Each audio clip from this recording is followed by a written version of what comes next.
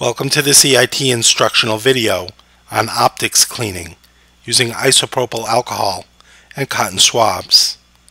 This procedure is recommended for EIT Power Puck, Profiler, and PowerMap type radiometers.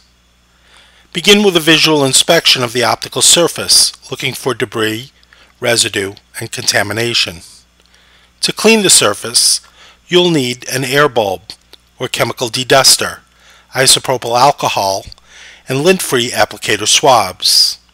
Holding the radiometer vertically, use an air bulb to remove loose debris from the optical surface. Using chemical deduster, hold the nozzle 10 to 12 inches from the optical window to avoid residue buildup. Apply a liberal amount of isopropyl alcohol to a clean cotton swab, and using a firm but gentle motion while twisting the shaft of the applicator, Remove contaminants using the isopropyl alcohol. Never dip a dirty swab back into the alcohol as this can cause contamination.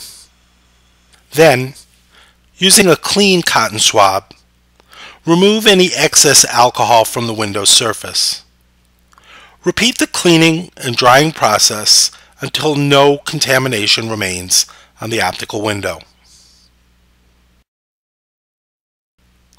For more information about EIT's UV measurement products, visit our website, eit.com.